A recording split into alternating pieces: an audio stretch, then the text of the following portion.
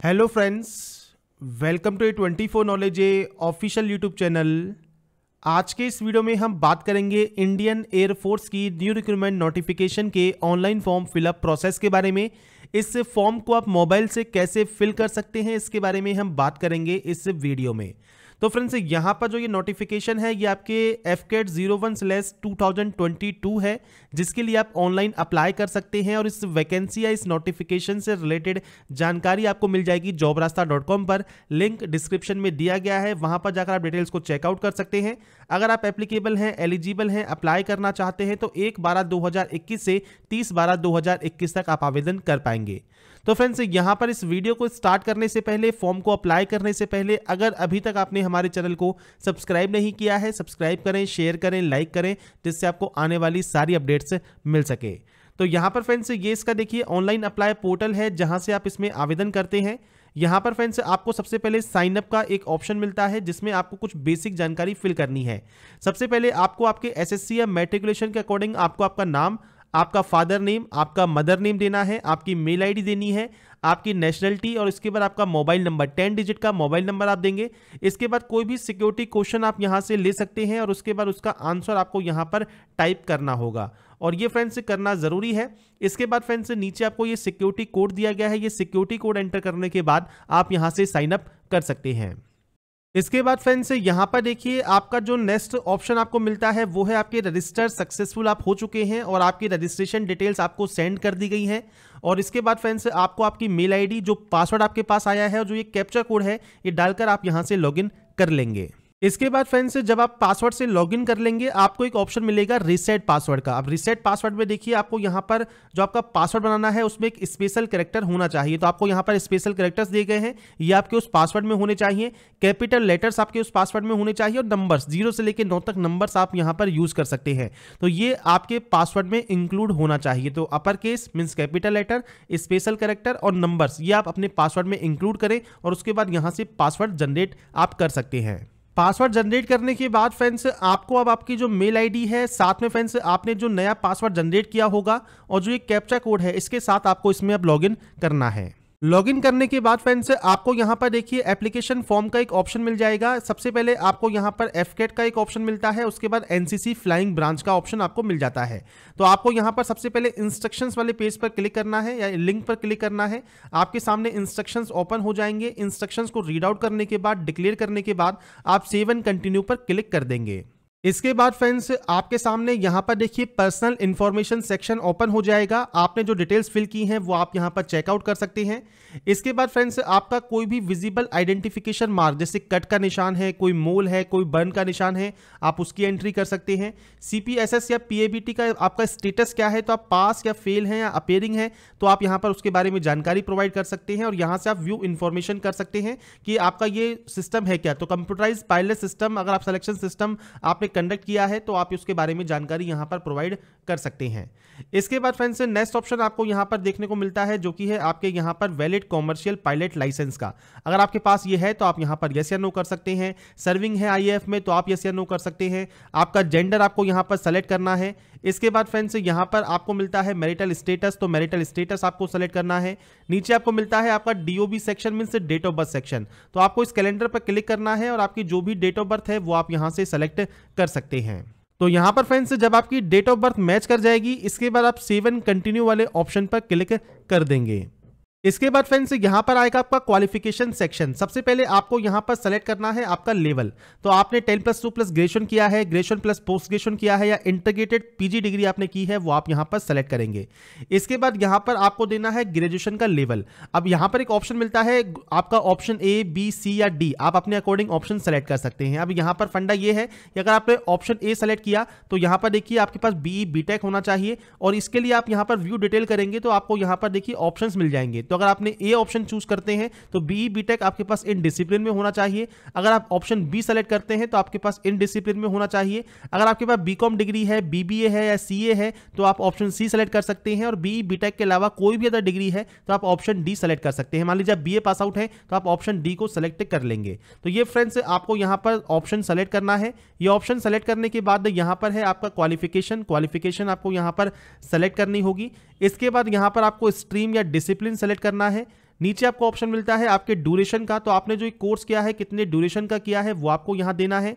आपके कॉलेज का नाम और आपकी यूनिवर्सिटी का नाम आपको देना होगा और आपकी जो डेट या एक्सपेक्टेड डेट है, अगर आप पास आउट हैं तो आप पासिंग डेट दे सकते हैं और अगर आप यहाँ पर पास आउट नहीं है अपेयरिंग है तो आप अपनी एक्सपेक्टेड डेट भी दे सकते हैं और ये 30 नवंबर 2022 तक आपका रिज़ल्ट आ जाना चाहिए। तो आप यहाँ पर डेट मेंशन कर देंगे। आपकी जो ओवरऑल या एग्रीगेट परसेंटेज है, वो आपको यहाँ पर मेंशन करनी है। इसके बाद फ्रेंड्स आपका कोई बैकलॉग है या नहीं है, वो आप बता सकते हैं और उसके बाद टेन प्लस टू की आपको एंट्री करनी होगी।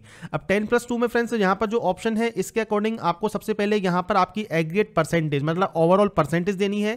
इसके बाद आपको फिजिक्स की परसेंटेज देनी है और मैथमेटिक्स की देनी है। अब यहाँ पर मान लीजिए, अगर आपके पास ये सब्जेक्ट नहीं है और आपने कोई अदर ऑप्शन सेलेक्ट किया है तो आप ज़ीरो की एंट्री कर सकते हैं। या फिर फ्रेंड्स आपके जो भी नंबर्स हैं परसेंटेज हैं आपके मैथ में और आपकी फिजिक्स में, वो आप यहाँ पर एंटर कर देंगे। ये एंटर करने के बाद आप इस डाटा को सेव एंड कंटिन्यू कर पाएँगे। इसके बाद फ्रेंड्स तीसरा ऑप्शन आपका आता है कोर्स प्रेफरेंस का। तो आपकी एलबीटी के अकॉर्डिंग आपने जो डिटेल्स फिल की हैं क्वालिफिकेशन फिल की है, उसके अकॉर्डिंग आप किस किस कोर्स के लिए एप्लीकेबल है, वो आपको मिल जाता है ऑप्शन यहाँ पर। अब आपको उस ऑप्शन पर टिक करना है, वो ऑटोमेटिक आपको देखिए राइट हैंड साइड पर देखने को मिल जाएगा। आपके अकॉर्डिंग जो भी आप प्रेफरेंस यहाँ पर देना चाहें, वो आप यहाँ पर दे सकते हैं। आप एक देना चाहें, दो देना चाहें, सारे देना चाहें, वो आपके अकॉर्डिंग आप देंगे। इसके बाद अगर आपका ई e टाइप लगता है तो आपको वो ऑप्शन आपका ओपन रहेगा, आप उसे सेलेक्ट कर सकते हैं। अगर आप बी या फिर कोई अदर डिग्री ऑप्शन सेलेक्ट करते हैं तो आपका ये ऑप्शन नहीं रहेगा। इसके बाद एनसीसी का कोई सर्टिफिकेट आपके पास है, आपने एसएसबी पहले दिया है तो आप यस या नो कर सकते हैं। आपको इस वैकेंसी के बारे में कैसे पता लगा, आप उसके बारे में बता सकते हैं। गेट एग्ज़ाम अगर आप अप्लेयर किया है तो आप उसके बारे में जानकारी दे सकते हैं, नहीं तो आप इसमें भी नो करेंगे और सेवन कंटिन्यू कर देंगे। इसके बाद फ्रेंड्स यहाँ पर देखिए आपका जो डाटा सेव हो जाएगा, इसके बाद आपका आएगा यहाँ पर कम्युनिकेशन डिटेल्स तो आपका जो भी पूरा एड्रेस है, पूरा एड्रेस आप किस स्टेट के निवासी हैं, इसके अलावा आप किस सिटी के निवासी हैं, वो आपको यहाँ पर पिन कोड वगैरह सब जानकारी आपको यहाँ पर मैंशन करनी होगी। तो ये आपका एड्रेस सेक्शन है, आपके अकॉर्डिंग आपका जो भी एड्रेस है, वो आप यहाँ पर फिल कर सकते हैं।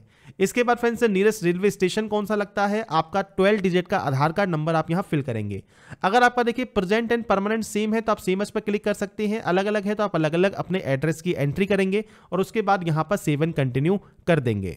इसके बाद फ्रेंड्स, आता है आपका next option photograph and signature upload तो यहाँ पर देखिए फोटोग्राफ एंड सिग्नेचर आपको जेपीजी फॉर्मेट में अपलोड करने हैं। फ़ोटो 10 से 50 के के बीच होनी चाहिए। सिग्नेचर 10 से 50 के के बीच में और आपका यहाँ पर जो थम इंप्रेशन है, वो भी 10 से 50 के के बीच में। अगर आप मेल कैंडिडेट हैं तो लेफ़्ट थम इंप्रेशन और अगर आप वुमेन कैंडिडेट हैं फीमेल कैंडिडेट है तो राइट थम इंप्रेशन आप यहाँ अपलोड करेंगे। और ये ध्यान रखिएगा, जो भी आप फ़ाइल यहाँ पर बनाते हैं, उसका जो फ़ाइल का नाम होता है, वो फ्रेंड्स, जैसे आपको दिया गया है image name should be thumb underscore impression ये आपका होना चाहिए। और ये जेपीजी आपको लगाना नहीं है नाम में, ये जेपीजी फॉर्मेट होता है, जिस फॉर्मेट में अपलोड करते हैं। तो जेपीजी फॉर्मेट में आपको अपलोड करना है। थंब अंडरस्कोर इंप्रेशन आपको नाम देना है फ़ाइल का। सिग्नेचर के लिए आपको सिग्नेचर नाम देना है। और आपको फोटोग्राफ के जो नेम है, उसमें आपको पासपोर्ट अंडरस्कोर फोटोग्राफ आपको नाम मेंशन करना है। और उसके बाद ही आप इसे अपलोड यहाँ पर कर पाएँगे। अगर आप नाम चेंज नहीं करते हैं तो ये आपका अपलोड नहीं होगा। तो जो आपको नाम का फॉर्मेट दिया गया है, उसी फॉर्मेट में आप यहाँ पर फ़ोटो साइन और लेफ़्ट इंप्रेशन को अपलोड कर देंगे। तो आपको तो इसके लिए फ्रेंड्स आपको चूज़ फ़ाइल पर क्लिक करना होगा और अपने मोबाइल पर जहाँ पर भी आपने फ़ोटो सेव की हुई है, वो आप यहाँ पर अपलोड कर सकते हैं।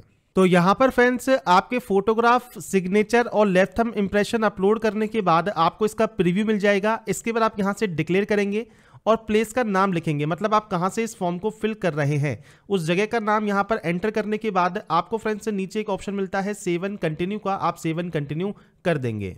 इसके बाद फ्रेंड्स, यहाँ पर है आपका एफ़ कैट एप्लीकेशन फॉर्म तो यहाँ पर फ्रेंड्स, आपको देखिए जो ये ऑप्शन दिया गया है, इसमें आपको सेलेक्ट करना है आपका स्टेट और आपका एग्ज़ाम सिटी तो आप किस स्टेट में और किस एग्ज़ाम सिटी पर अपना एग्ज़ाम कंडक्ट करवाना चाहते हैं, वो आपको यहाँ पर चूज़ करने होंगे। इस तरह से आपको city one city two city three city four city five का ऑप्शन मिलता है। तो आप यहाँ पर अपने एग्ज़ाम सेंटर्स को चूज़ कर लेंगे और उसके बाद ही सेवन कंटिन्यू करेंगे। इसके बाद फ्रेंड्स, यहाँ पर आपको मिलता है आपका प्रिव्यू सेक्शन तो जो भी डिटेल्स आपने फिल की हैं अपने एप्लीकेशन फॉर्म में, उसका जो प्रीव्यू है, वो आप यहाँ पर चेक कर सकते हैं। अगर आप सेटिस्फाई हैं अपने प्रीव्यू से तो आपको यहाँ पर सेवन कंटिन्यू का एक ऑप्शन मिलता है। अगर आपको लगता है कोई गलती हो गई है तो आप बैक जाकर या होम जाकर सही कर सकते हैं। और अगर आपको लगता है कोई गलती नहीं है तो आप सेवन कंटिन्यू यहाँ से कर देंगे। अपनी डाटा को आप यहाँ से वेरीफाई कर लेंगे और उसके बाद फ़ैन से सबमिट डिटेल्स कर देंगे। सबमिट डिटेल्स करने के बाद यहाँ पर फ्रेंड्स आपका जो स्टेप है, देखिए, सारे आपके कंप्लीट हो गए हैं। अब लास्ट स्टेप आपके सिर्फ़ पेमेंट का है। और पेमेंट कंप्लीट होने के बाद जैसे ही पेमेंट सक्सेसफुल होगा, आप यहाँ से अपने एप्लीकेशन फॉर्म का प्रिंट ले सकते हैं। तो आप मेक पेमेंट वाले ऑप्शन पर क्लिक करेंगे। इस पर क्लिक करने के बाद फ्रेंड्स यहाँ पर आपके सामने देखिए मल्टीपल ऑप्शन हैं, जिसमें credit card debit card net banking का ऑप्शन है। आप कोई भी एक ऑप्शन को चूज़ कर सकते हैं पेमेंट करने के लिए और पे वाले ऑप्शन पर आप क्लिक करेंगे। इसके बाद यहाँ पर प्रोसेसिंग होगा और प्रोसेसिंग का थोड़ा सा वेट करने के बाद आप पे विद वाले ऑप्शन पर क्लिक करेंगे। अब यहाँ पर एच का आपके पास क्रेडिट कार्ड डेबिट कार्ड है या किसी भी अदर बैंक का क्रेडिट डेबिट कार्ड है या नेट बैंकिंग है, आप यहाँ पर सेलेक्ट करेंगे उस ऑप्शन को। अपने कार्ड की डिटेल्स को आप यहाँ पर फिल करेंगे कि किस तरह का आपका यहाँ पर कार्ड है। और इसके बाद फ्रेंड्स यहाँ पर आपको अपने कार्ड नंबर नाम और आपको ये डिटेल्स फिल करनी है कंफर्म करना है। और जैसे ही आप ये कंफर्म करेंगे, आप अपना फाइनल प्रिंट आउट निकालकर अपने पास रख पाएँगे फ्यूचर यूज़ के लिए फ्यूचर रेफरेंस के लिए। तो यहाँ पर फ्रेंड्स मैंने आपको सारी जानकारी प्रोवाइड कर दी है, कैसे आप AFCAT zero one slash two का ऑनलाइन फॉर्म मोबाइल से फिल कर सकते हैं स्टेप बाय स्टेप प्रोसेस के बारे में। अगर आपको हमारा ये वीडियो पसंद आया है और आप चाहते हैं ऐसे ही अपडेट्स आपको लगातार मिल सके तो लाइक सब्सक्राइब एंड शेयर ज़रूर कीजिए। बाकी की जानकारी के लिए ऐसे ही बने रहिए हमारे साथ, देखते रहिए हमारा YouTube channel and last thanks for watching